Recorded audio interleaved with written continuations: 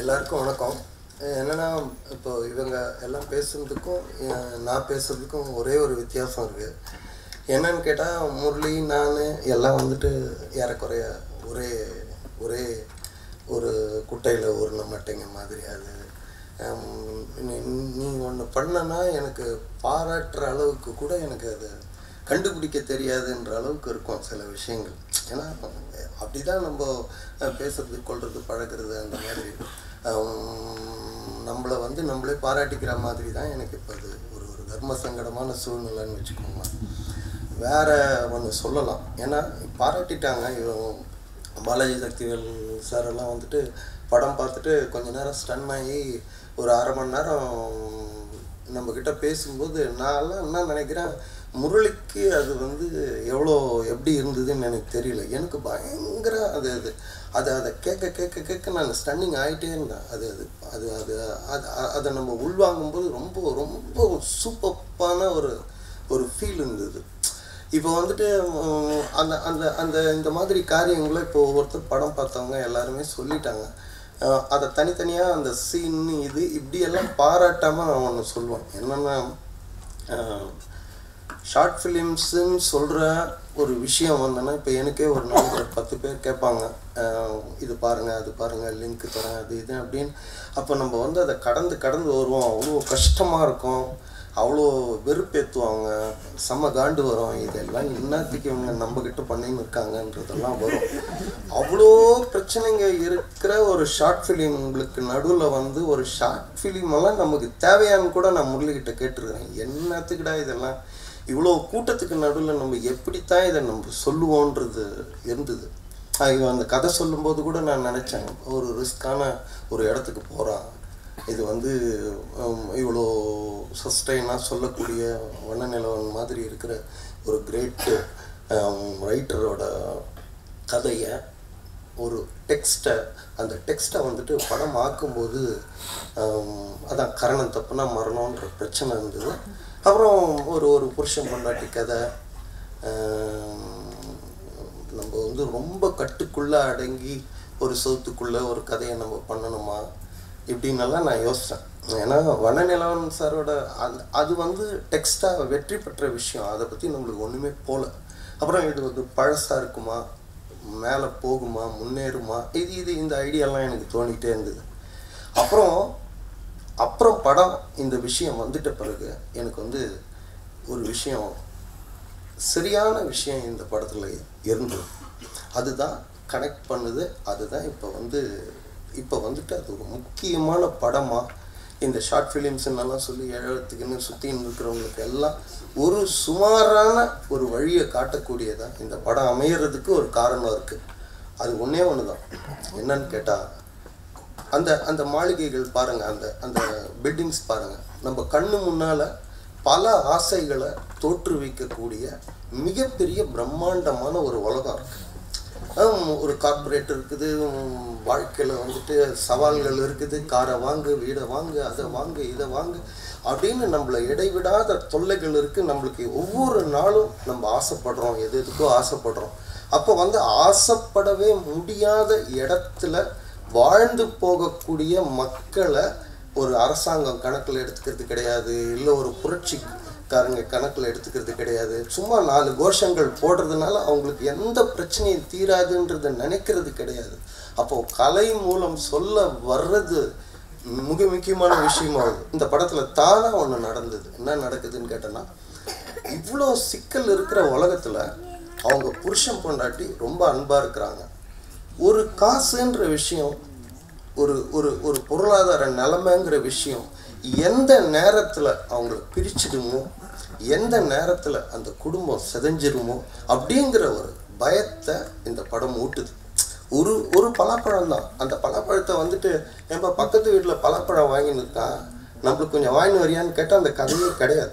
ஆனால் அதை கூட கேட்கறதுக்கெல்லாம் முடியாது. அது வேற இருக்குது இது வேற இருக்குது அந்த ப்ராப்ளம் இருக்குது இந்த ப்ராப்ளம் இருக்குது அப்போ வந்துட்டு ஒரு சின்ன பலப்படுத்தனோட ஆசையை கூட நிறைவேற்ற முடியாத அந்த குடும்பங்களுக்கு எந்த நேரமும் பிரச்சனை எந்த நேரத்தில் வேணால் அவங்க வெடித்து செதறலாம். அந்த குடும்பம் உடஞ்சி போகலாம் அந்த குழந்தை கனவு முடிஞ்சு போகலாம் அப்படின்னு எல்லாம் இருக்கும்போது அந்த மனுஷங்க தான் தங்களுக்குள்ளே இருக்கிற நல்லதை எடுக்கிறாங்க.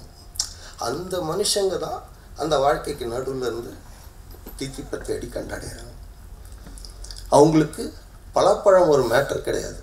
எவ்வளோ பிரச்சனை நடந்தனாலும் அவங்க ந தங்களுக்குள்ளே இருக்கிற அன்பிலிருந்து அந்த மதுரத்தை அந்த தித்திப்பை தேடி கண்டடைகிறாங்க இந்த கதை நான் நினச்ச மாதிரி கிடையாது. இது வந்து அன்னைக்கு பொருந்துச்சு இன்னைக்கு பொருந்துச்சு எந்த காலத்துக்கும் பொருந்தும். இதனால் இந்த கதையை வந்துட்டு நான் மிக முக்கியமான கதையாக நினைக்கிறேன்.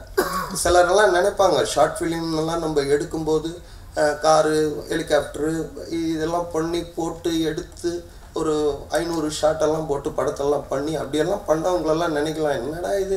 நாலு தடவை வச்சு வச்சு எடுத்துருக்குறாங்க. கேமரா இதை போய் நல்ல படம் அப்படின்ற மாதிரி நினைக்கலாம். ஆனால் ஆயிரம் கோஷங்களை விட ஒரு ஒரு ஒரு ஒரு ஒரு ரெண்டு நிமிஷ கலை உண்டாக்குற அந்த தாக்கத்தை வந்து வேறு எதுவும் உருவாக்காதுன்னு நினைக்கிறேன்.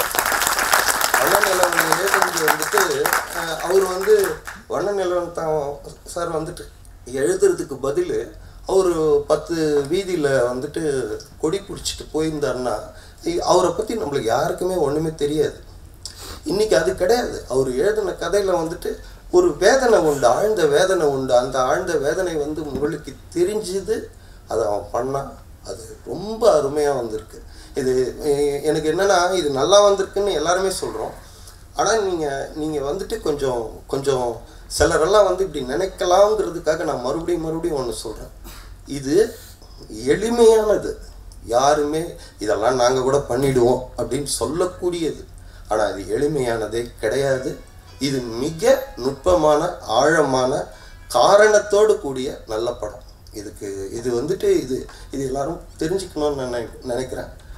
முரளியை பாராட்டுறதுக்கு ஒன்றும் கிடையாது. அது என்ன நான் பாராட்டிக்கிற மாதிரி தான் மற்ற மற்றபடி எனக்கு இதில் நடிச்சிருக்கிறவங்க எல்லாரும் எல்லாரும் அவங்கவுங்களோட அந்த அந்த இவர் கூட அந்த கார் இல்லை கார் ஓனர். அவர் ஒரு லுக்குன்னு இருந்தது.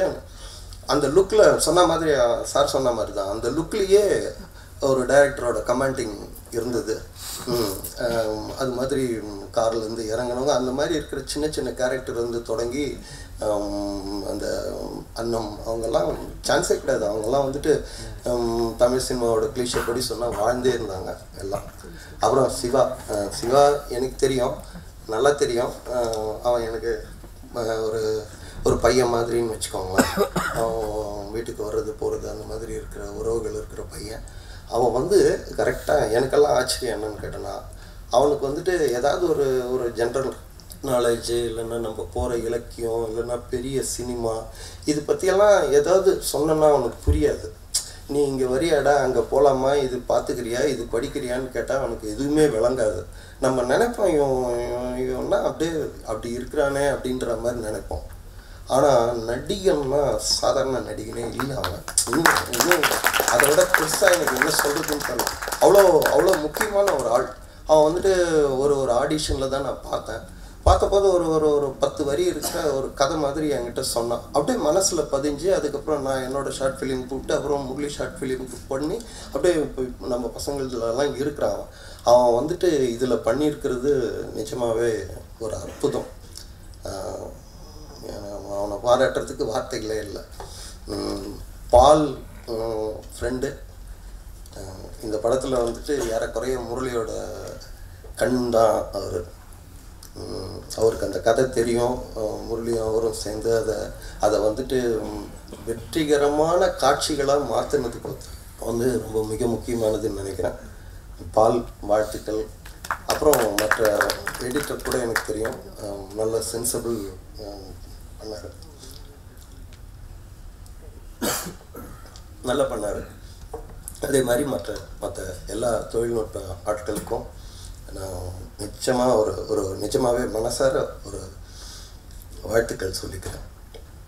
முரளி வந்துட்டு இன்னும் நல்ல படங்கள் பண்ணுறதுக்கான காலம் வந்துட்டுருக்கு. எல்லாருமே அதுக்காக தான் நாங்களும் காத்துட்ருக்கோம் ஃபுல் சக்ஸஸ் ஆகணும்னு சொல்கிறேன்